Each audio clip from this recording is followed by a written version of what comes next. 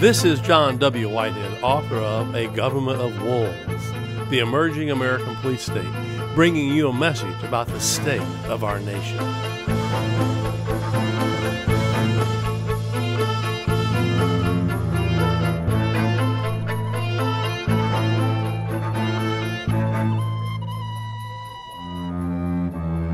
Each and every day, I either get letters, emails from people around the world. These are ex Americans who have left the country because they fear what's coming. They see a semi Nazi state, some of them are telling me. Something like the Soviet Union. In fact, I had an NSA agent, a long time NSA agent, say, John, we're following the Soviet model. We're moving into kind of the Soviet regime. Remember under Stalin and people like that? Things were horrible. So they fled the country and they're encouraging other people to leave the country. So there are a lot of bad signs in America. I want to talk about those first, and then maybe talk about why I'm going to stay in America and why I'm not going to flee. The militarized police is definitely a warning. Police now have uh, stockpiled weapons. The, the smallest police force in America, in my opinion, can put down an armed revolt. That's why I tell people, you want to get your guns and go fight the police today, and some people say they want to do that, you're going to get gunned down. I mean, they have tanks, sniper rifles, all kinds of devices. There are 80,000 SWAT team raids occurring across America annually. What, what, SWAT team raids. 80% of these SWAT team raids are from mere warrant service, where a policeman used to show up at your door and go, knock, knock, are you Mr. Smith? Now they're crashing through the doors in the middle of the night, shooting dogs, killing babies, shooting kids, killing uh, uh, citizens in this country, veterans who don't even know who's coming through the door in the middle of the night. Many times they're at the wrong place. Amidst all this stuff, Crime is at a 40 year low in America. Unarmed policemen getting shot in the line of duty is at a 50 year low. So, wow, the guns, the bombs, the SWAT team raids. The NSA, the CIA, all of them are reading all of our emails, our text messages. The NSA admits to downloading, what, 250 text messages a day of American citizens?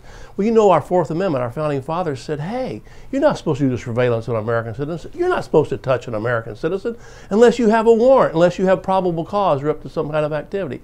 So the government's already trashed. They've totally trashed the thing that stands between us and a police state our Fourth Amendment. They know everything about us, our electronic records, what you buy.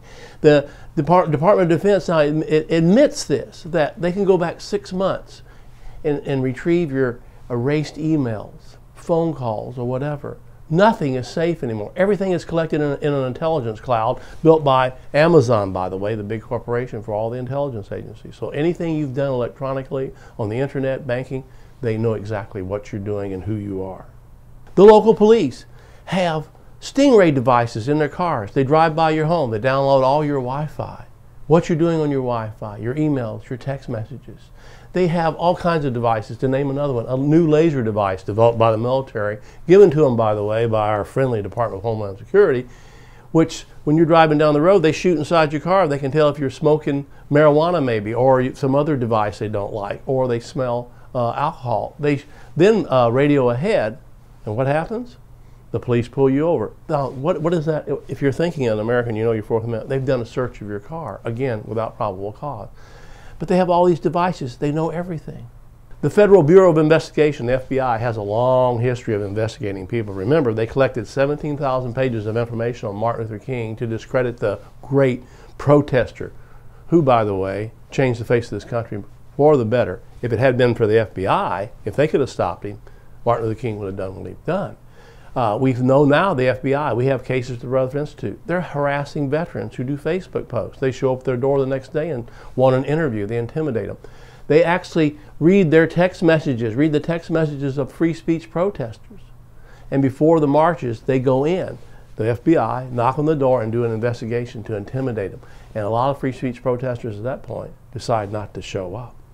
This is just the tip of the iceberg. I write about these issues all the time. I have books, a book called The Government of Wolves, which has got a lot of this information in it, and trying to alert American citizens about what's going on. If you read what's really going on, if you wake up, if you open your eyes, you will see we're dealing with a pathological government, very similar to governments in the past that have done some really awful things. And again, I go back to the Nazis, the Soviet Union, what happened in China, and what's happening in some countries today across the world, and what's happening inside of America. And it's frightening. So what we're dealing with again is a pathological government that's out of control.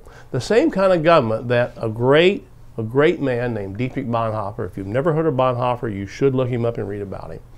He was a German pastor.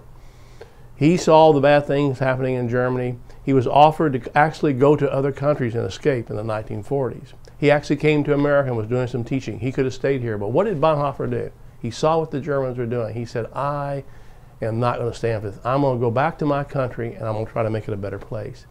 He tried to help the Jews who were being rounded up by the Nazis, the asocials, other people, the non Jews, and all the people that the Nazis didn't like. What, what was an asocial?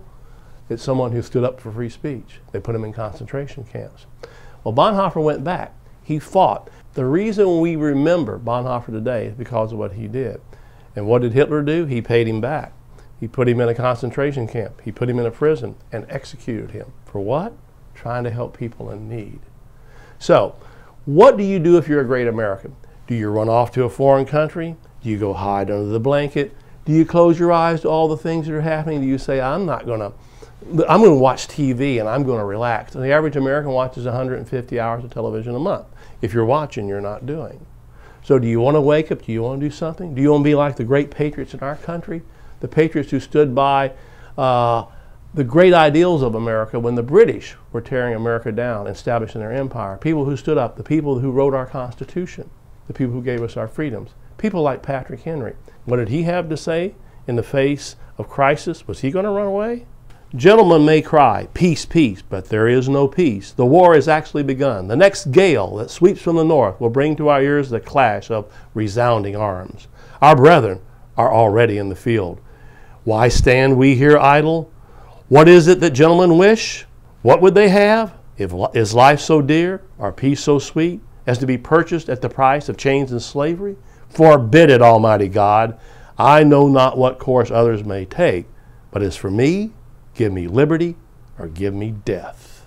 For more information on the Rutherford Institute, visit us at www.rutherford.org.